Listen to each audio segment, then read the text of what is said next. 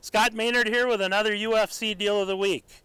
We have featured a Great Plains brand new field cultivator. It's a 36 foot, got a floating hitch, a four bar harrow, um, sweep, seven inch sweeps on it, field ready to go.